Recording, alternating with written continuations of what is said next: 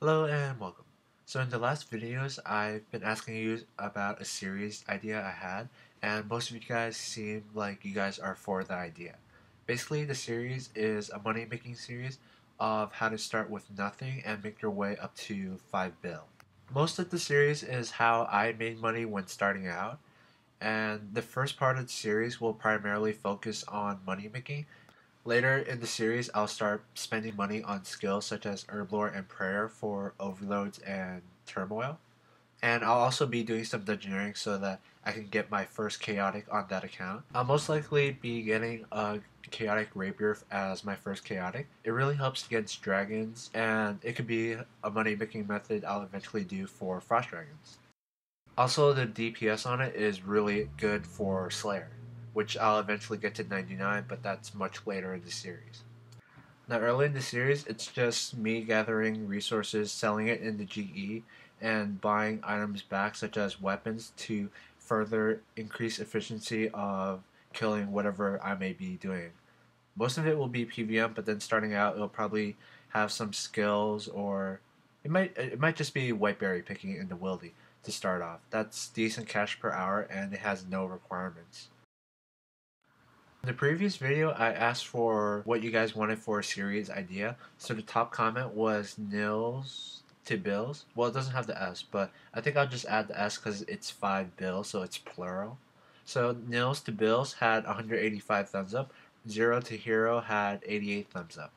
Now, I'm not sure where I'll fit the road to 5 bill. It'll be in the title, but I'm not sure how I'll put it in the thumbnail. So if you guys have any thoughts on that, please tell me in the comments below. Also, tell me which title you like more, Nails to Bills or Zero to Hero. Now, I've added a thumbnail in the picture. That's how it will probably look like. And there's also on the bottom left, there's some long-term goals such as getting a Dragon Defender, Barrow Set, God Wars armor set, God Sword set, so on so on eventually a completionist cape and solo everything, every item in the game. I'm not sure about Corp. The Corp has a very terrible drop ratio, so I might just do that with loot share, where I have to loot share a Divine, Ellie, Spectral, and Arcane. And probably the same for Nex, where the drop actually has to go to me. Now this is the account I'll be using. You can see the stats here. This used to be my main account. I'll mostly be playing with chats off, but I'll still be chats on on Smoke. Now, if I go to G, uh, there's like a bunch of seeds. Now, these seeds are what I used to use for mobilizing army. They're really good for the GP to reward, no, investment point. I think that's what it's called. I put offers in for 1 GP and they're worth like 16 GP or so. They're really good. And if you look at my bank, there's like bunny ears right there. I I also have one on a level 30. No, I think it's level 80 now. But if you look at the rest of the bank, I used to do free to play PK for a really long time. I did free to play no armor PK with monk robes, rune scimitar, and I would have a dragon battle axe as a switch. Well, this was before Gravite wept. It was actually really fun to PK in, uh, what was it, free to play Bounty Hunter Crater where everybody goes in, then you fight, you have to dream in a penalty. Then once I got into members, I started P2P PKing with uh, I had a lot of friends that P- PK'd, but that was back when they had the Bounty Hunter world.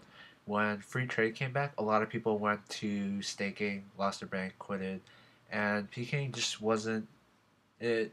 It wasn't as popular, and it's a lot harder to find people now. So basically you're hopping around worlds. When you actually find somebody, you're not prepared. Everybody's like half the team's AFK, only the leader is still awake. Before I started doing the whole PKing thing on this account, I was doing skilling a lot. I got 85 mining in free to play. Well, some of it wasn't pay, pay to play, but then it was still pretty bad EXP at the time. There was like no living rock cavern. So I had like 10 scout accounts and I would go to I think it's like 44 wildy, and I would mine the runite ore and have scout accounts hop around.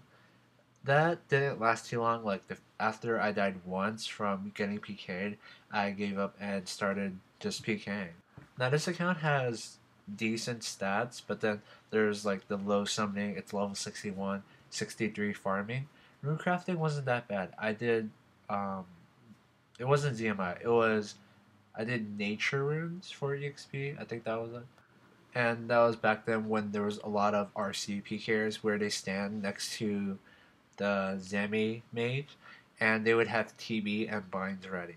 And then every time they kill you, you lose your pouch. So every time that would happen to me, I would lose my glory. I gear up, I go back, and they're gone already. Construction's kind of low. It's not great. It's gonna be one of the later skills I level up. That's probably when I have more cash to work with. I've been doing some uh, free to play dungeoneering on this account. It's level 62. I probably shouldn't have done that. I could have done a series where I show people how to do dungeoneering when they start out because level 1 to around 80, that's like the hardest part of dungeoneering, starting up. Once you get higher level dungeoneering, it's a lot easier. People know what to do, but it's the start that is really hard to do. It's hard to find people that know what to do because most people are new. I remember when dungeoneering first came out, I had no idea what prestige was and my friend actually got me to reset my prestige twice but i thought that was the right thing to do because i honestly didn't even read the homepage about what dungeoneering was. Now this was way before the whole Nex thing. That was like a year or two before. The first boss the first large floor i had the boss was a behemoth the one that eats. Um, we got stuck on it uh, I went around fishing for food, cooked it on a tier 1 log. I didn't know that tier 10 or a higher tier log would make it burn less. So it was a five man team in a large floor. We found the boss.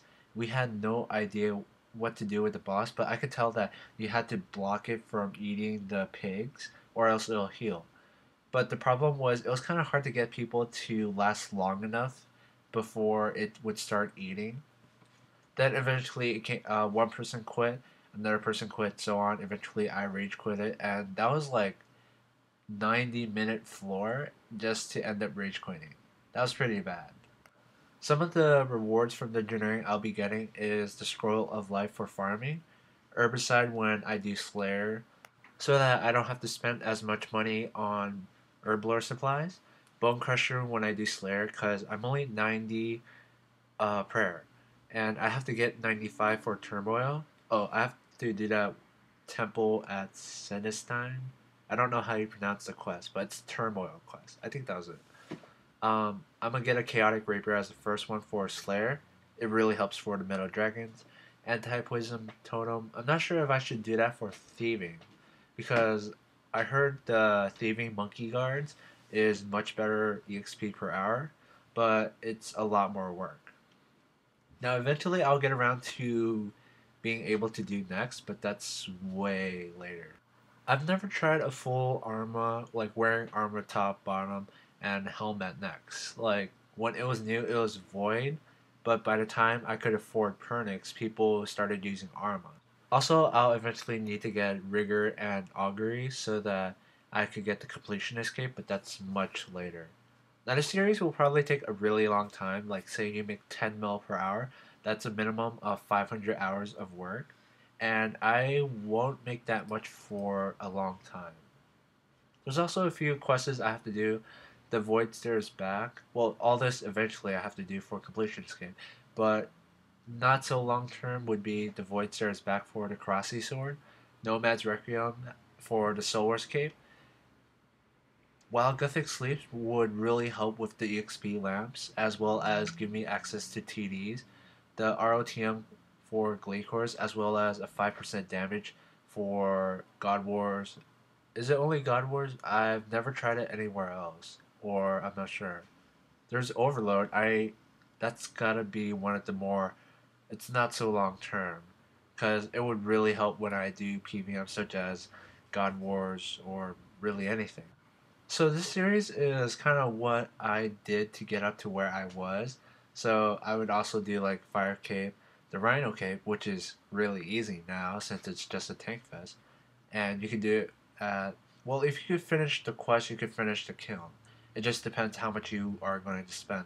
Because you could get to 1 to 36 using no food if you Blood Barrage, or if you spend a lot of money on Purple Sweets. Then there's the Dominion Tower. I need to get 500 kills. I mean 500 boss kills for Dreadnips. Oh, I didn't. Shoot, I'm not sure if I did the Do No Evil quest because if you don't do all the quests and go to Dominion Tower, you can actually get decent prayer EXP per hour depending on what quests you have not done. Because if you haven't done the hard bosses, then you won't encounter them. Then it's just easy bosses, which is really good for Dreadnips. So I'll probably be doing the Dominion Tower before I start doing hard quests like Do No Evil. i have to look this up, but that's not till like maybe a few months later. So the series is mostly gonna be in like in the first part of the video I had to plan steps in the middle column. It was first money making, then money making with skills. I'll do some flipping in GE. There's some really cheap stuff you can flip for a decent amount of cash. I did this when I was starting out. It made like 10 mil per hour at the time.